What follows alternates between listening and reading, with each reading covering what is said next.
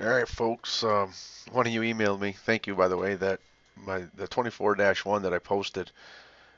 The only video, the only audio was the movie. So second try on getting this audio to work for 24-1, and thank you very much for letting me know. First of all, we'll do the digestive system overview. The digestive system performs four main functions: ingestion, digestion, both mechanical and chemical, absorption, and elimination of wastes. Digestion begins in the mouth, where the teeth break food into smaller particles during mastication. Salivary glands located near the oral cavity secrete saliva, which begins chemical digestion and keeps the food moist. As food is swallowed, the soft palate blocks the upper pharynx to prevent food from entering the nasal cavity and multiple voluntary muscles in the face, neck, and tongue contract, pushing food particles into the pharynx.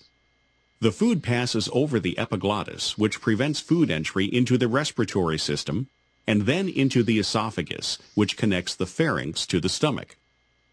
The one-way movement of the food mass, now called a bolus, is controlled by wave-like involuntary muscle contractions. This movement is known as peristalsis. The bolus now enters the stomach. Folds in the stomach wall called rugae allow for expansion as the stomach fills and also increase surface area. Stomach cells secrete hydrochloric acid, pepsinogen, and various regulatory hormones that chemically digest the bolus. Muscular contractions in the stomach churn its contents to further break down the bolus and mix it with stomach secretions to form a thick liquid called chyme. Chyme exits the stomach through the pyloric sphincter and enters the small intestine, the major site of nutrient absorption. The small intestine consists of three parts, the duodenum, jejunum, and ileum. Bile from the liver and gallbladder and digestive enzymes from the pancreas empty into the duodenum to aid in digestion. Absorbed nutrients pass from the lumen of the small intestine into blood and lymph. Chyme not absorbed in the small intestine enters the large intestine. As it passes through the cecum and ascending, transverse, descending, and sigmoid colon, water and salts are absorbed and chyme is converted into feces. The rectum stores feces until nervous stimulation initiates the defecation reflex resulting in elimination through the anal canal. All right, folks, that's just the overview. So now let's talk about some more specific things.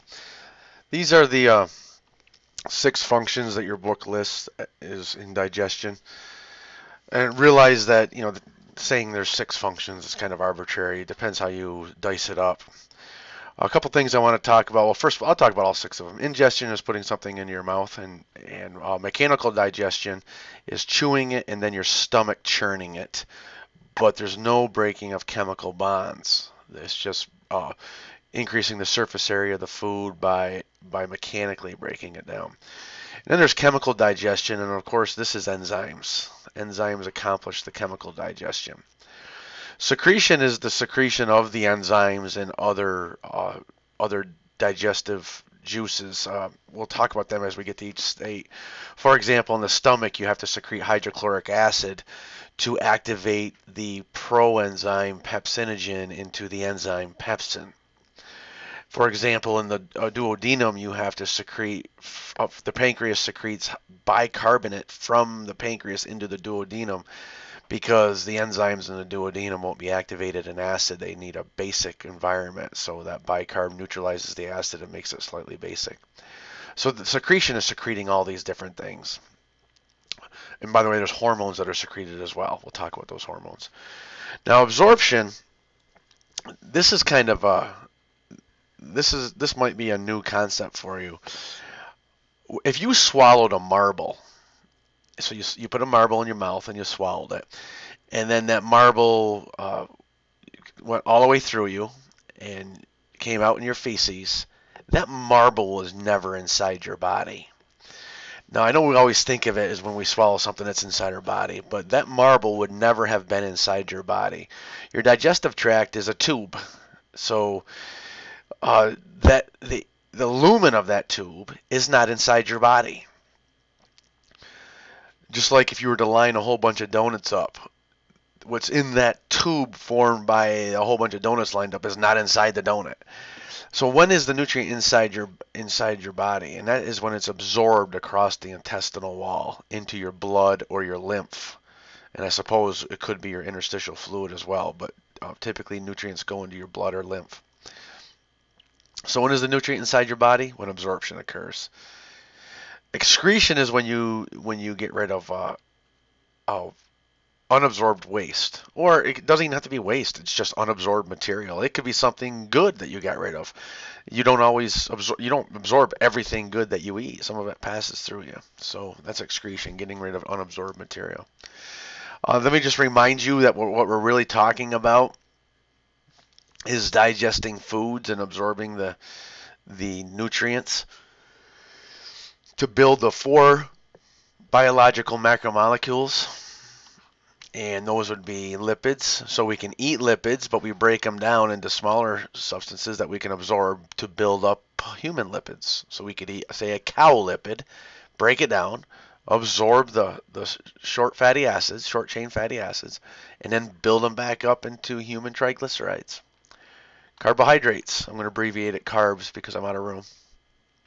We eat plant carbohydrates like starch. We break them down into the monomers. We absorb the monomers. We, re, we rebuild human carbohydrates like glycogen. The um, nucleic acids. Now, there is two biochemical pathways for making DNA and RNA. One's called salvage and one's called de novo. So the salvage pathway is when we actually use the nucleotides that are there in our body. We might absorb a nucleotide. The de novo pathway is when you build the nucleotides from scratch, from raw materials. So when we're talking about um, nucleic acid, we have to talk about whether we're talking about the salvage or de novo pathway. And then lastly is proteins. We can eat a cow protein, break it down into its monomers, amino acids, to rebuild the human protein. So this is what we're really talking about is uh, these four biological macromolecules. And the word anabolism is buildup. So it's building big things from small things like building glycogen from glucose, building proteins from amino acids. The word catabolism is breakdown, like breaking down glucose into CO2 and water, breaking down glycogen into glucoses. And uh, the sum of anabolism and, and catabolism is called metabolism. The sum of anabolism and catabolism is called metabolism. All right. This is just, this is really the anatomy we'll cover in lab. I will tell you that uh, some of these uh, accessory glands we'll be spending a lot of time on. Liver and gallbladder. Why is the liver an accessory gland? It actually makes the bile. It's the bile stored in the gallbladder, but the liver makes it. So I circle these accessory glands. We'll be spending quite a bit of time on them. All right. So this picture's not in your book. The next three pictures aren't in your book, but and it's really a phylogenetic explanation or an evolutionary explanation. And uh, the next three slides are not testable. I'll, I'll tell you again when we get to a testable slide. But what I want to explain is we're going to talk about the human body cavities. And we're going to call it a coelom, and it is a coelom. But what the heck's a coelom, and who cares about a coelom anyway? Well, in biology, the coelom is used as a classification tool. Uh, we have coelomates, true coelomates, which have true coelom. We have pseudocoelomates where they don't have a true coelom, definition to follow. And we have acoelomates, organisms that don't have a coelom at all. Like this planaria you see here. That's this is a planaria. And um, so what's the what is a coelom? A coelom is a body cavity. But a true coelom is a body cavity surrounded on all sides by mesoderm. This word right here, mesoderm. There's three embryonic tissue layers in an embryo, and that's uh, endoderm, mesoderm, and ectoderm. And what these tissue layers become, I mean, we know the endoderm becomes certain things, and we know the mesoderm becomes certain things, and we know the ectoderm becomes certain things. So saying these tissue layers, endoderm, mesoderm, ectoderm, is, is also talking about the fate of those tissues. Does it become the liver? Does it become the skin? Does it become a nerve? So a true coelom is a body cavity surrounded on all sides by mesoderm. A pseudocoelom has a body cavity, but it's only surrounded on one side by mesoderm. The other side, other side is endoderm. And then, of course, an acoelomate doesn't have a body cavity at all. So that's a coelom. A coelom is a body cavity. And then we can talk about coelom formation. And the coelom formation in a protostome is different than the coelom formation in a deuterostome. By the way, humans are deuterostomes. Well, let me just tell you about tell you about protostomes and deuterostomes briefly. Protostome means first the mouth. Protostome. Stome means mouth. Proto means first. First the mouth. Deuterostome means second the mouth. Well, what the heck does that mean? Well, as an embryo, you have a blastopore right here. Here's the blastopore. A protostome, the blastopore becomes the mouth. You can see the blastopore became the mouth. First, you make the mouth. Second, you make the anus. But a deuterostome, this blastopore becomes the anus. And it's second the mouth. So you make the mouth second. And now that's just explaining to you what the words protostome and deuterostome mean. But the formation of the coelom here is different between protostomes and deuterostomes. The formation of the coelom for the archenteron it uh, occurs well the formation of the coelom occurs from the archenteron in a deuterostome the formation of the coelom in a protostome occurs from a solid mass of mesoderm now they're both going to have true coelom they're both going to have mesoderm surrounding the, the coelom, but they form differently. All right. And then, of course, just to show you where we are, we are deuterostomes. Humans are deuterostomes. Humans are chordates. We have spinal cords. We're vertebrates. So you can see that. If you did the if you did the, uh, see, I don't even know if I can do this to be honest with you. Let's see. If you did the King Philip came over for good spaghetti.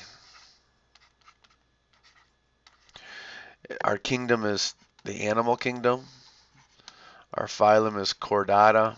Our subphylum is Vertebrata. Not class, but subphyla.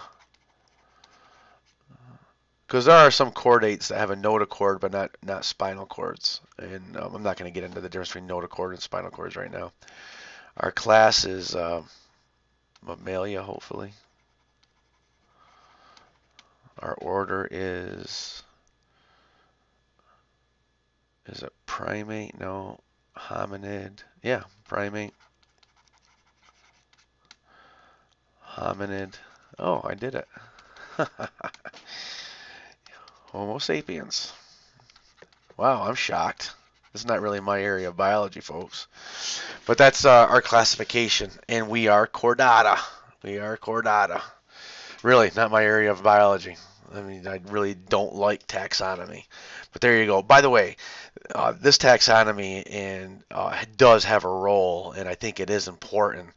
Uh, I like phylogenetics a lot more than taxonomy. What phylogenetics, and they're linked, by the way, they're linked. But phylogenetics is evolutionary history. This is really uh, this this chart right here is really phylogenetics because it's talking about tissues and true tissues and bilateral symmetry and everything we just talked about. It's really phylogenetics right here, but it's also linked to uh, taxonomy, obviously, because we're talking about chordates. All right. All right, so now we're back to testable material. This is testable material. Humans are coelomates. We are deuterostomes, chordates, and we are coelomates. We have true coelom right there. And um, notice that the coelom is the body cavity, that not the lumen of the digestive tube. This lumen of the digestive tube is not inside our body. All right, but the the body cavity is inside our body. The coelom, the coelomic cavity is going to become the peritoneal cavity. And I'm going to remind you from Bio 203, you have a visceral peritoneum. That's the part of the coelomic cavity with the mem serous membrane directly surrounding the organs. And we have a parietal peritoneum right here. This is like the fist in the balloon.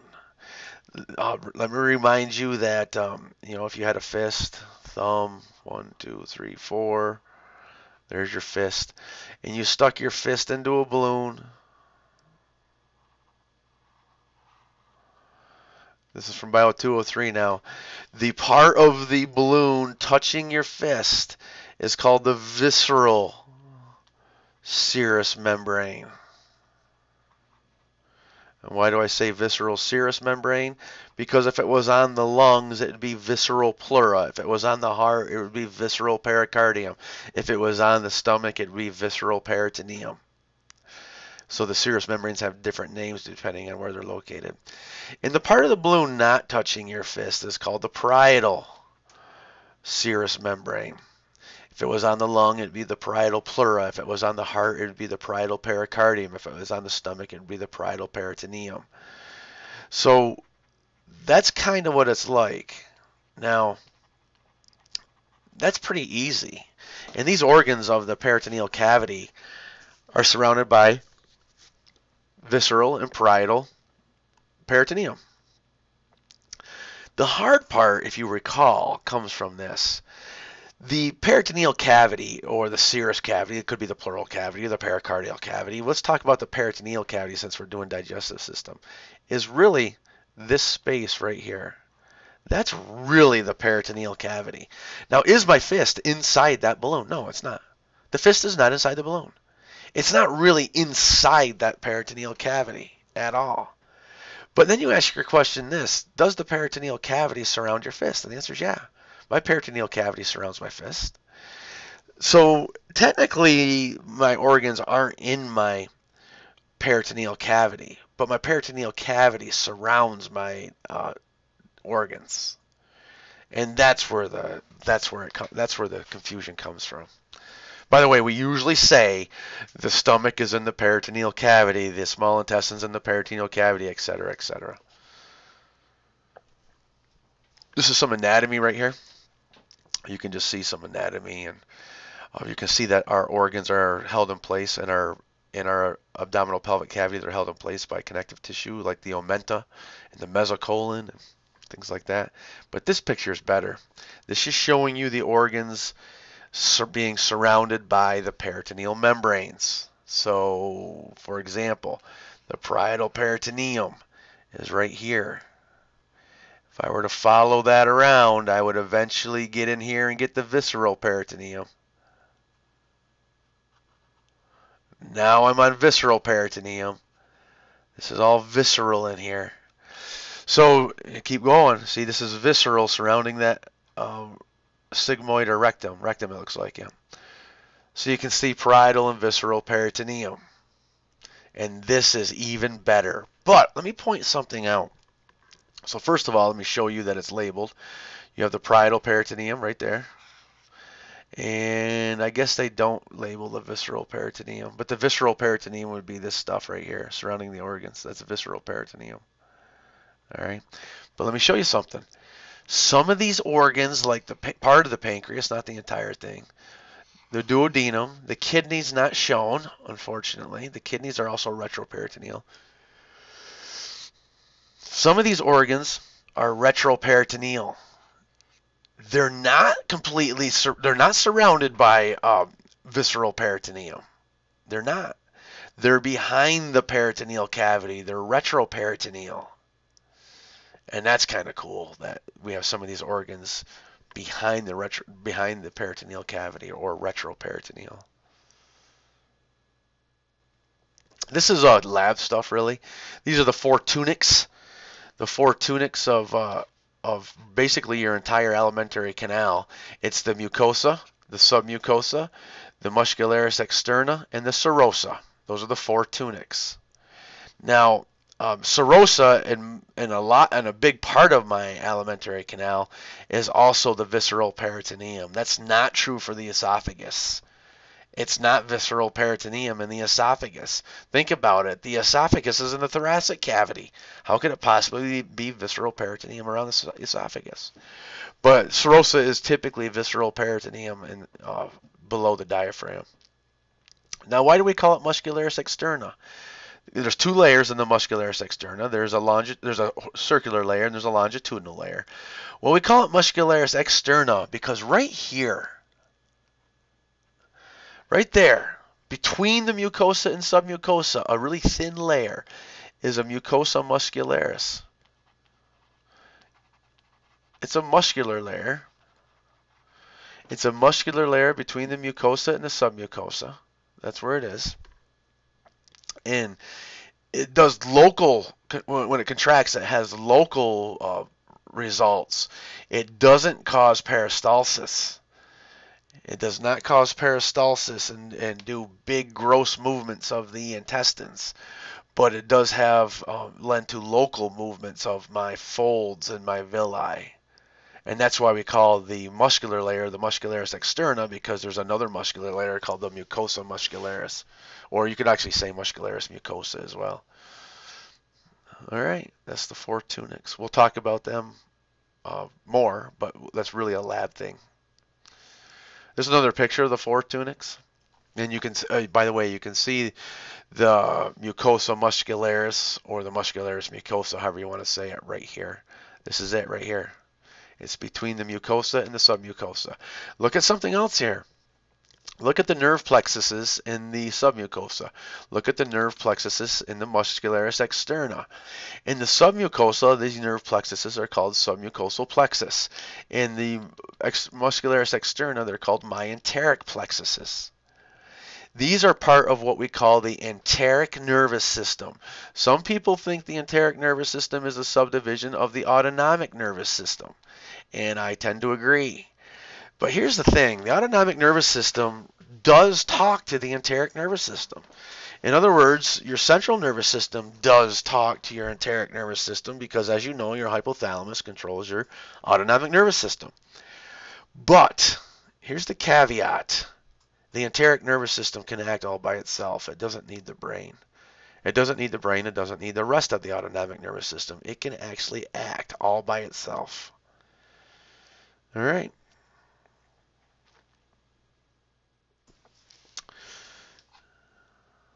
This is a fold. Let me go back. Let me go back again. See these folds right here? I got one fold and another fold and another fold and another fold and another fold, fold, fold. These folds are called different things depending on where they're located. In the stomach, the folds are called rugae. In the small intestine, the folds are called plica circularis. Circularis. So all through the all through the alimentary canal, we have these folds. But you know, depending on where they're located, if it's the stomach, we call them rugae, and the small intestine, we call them plica circularis. So we have we have folds. That's the bottom line. We have folds. Now, let's go forward before I go forward, let me point something out. On a fold, I have all these finger-like projections. They're called villi. In between folds, I have finger-like projections called villi. So in other words, I have these finger-like projections sticking out all over the place. This is a fold. This thing right here is a fold, not a finger-like projection. I know it looks like a finger-like projection, but it's an entire fold. These are the finger-like projections sticking off the fold. Those finger-like projections are called villi. So this is a fold with villi. You can see there's lacteals in my folds. And in fact, what I'm going to show you later is some of these lacteals go up into each finger-like projection. They will. There will be a lacteal inside each finger-like projection.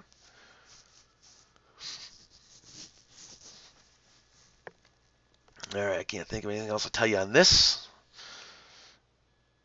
Okay, peristalsis. Well, let's go back. These two muscle layers, the circular muscle layer here and the longitudinal muscle layer here, these are responsible for peristalsis. Peristalsis is when the longitudinal muscles contract and you get a wave, you get a contraction wave going going like that. Now, how come that contraction wave can't go both directions? It can. It certainly can go both directions. And in fact, uh, with without the circular muscles involved, that contraction wave does go in both directions. It absolutely does. But we get our circular muscles involved. And what our circular muscles do is they contract right here, and they're relaxed in front of the bolus of food, but they're contracted right here. So now when the longitudinal muscles contract, the bolus of food can only move one direction because we're, we're blocking the, the reverse movement of the food.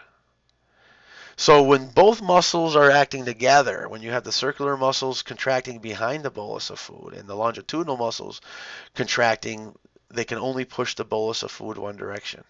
That's not to say that that um, two, three, and four right here, two, three, and four doesn't occur. It does occur.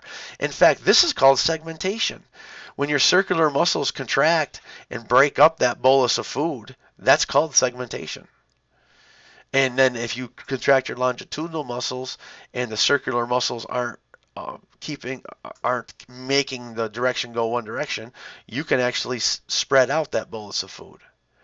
But when they act together, we contract the circular muscles right here, constrict the intestine behind the bolus of food. We contract the longitudinal muscles, which push, and they can only push that bolus of food one way. And that's the wave of contraction. This is another look at it. This actually shows you the circular muscles right here. So remember the inside muscles are the circular muscles contracting, constricting the backward movement of that bolus of food. And then you have the longitudinal muscles contracting, moving this bolus of food forward. All right. Now, in the rest of this these lectures, we are going to um, be talking about control. And that's actually the meat of the chapter. The control is always going to come in these three mechanisms. There's going to be local factors that are going to start this control. These are usually stretch and chemicals. So stretch and chemicals. pH is uh, detected by chemoreceptors. Uh, physical distortion would be stretch receptors. So Stretcher chemicals will be local factors that initiate some of our control mechanisms. Now we have short reflexes where they go up through the submucosal or the myenteric plexus, turn right back around, and act on the very area that the food is in. So this short reflex could lead to secretory cells releasing its products like hydrochloric acid or, or a hormone like uh, gastrin or an enzyme like pepsin or any number of things. Secretory cells releasing their products.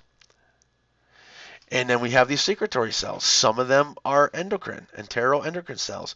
They release the hormone that enters the bloodstream and turns right back around and acts on the very intestine that started it.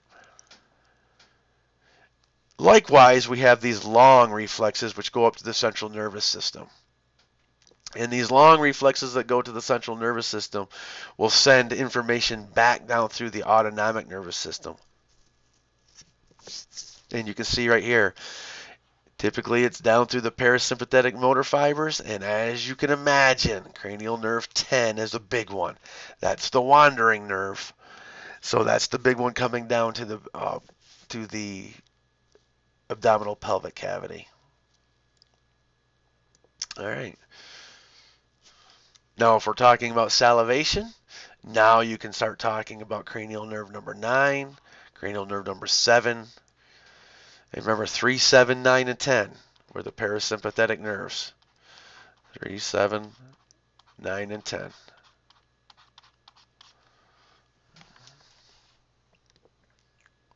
So, that's the control mechanisms that we're going to talk about all the way through.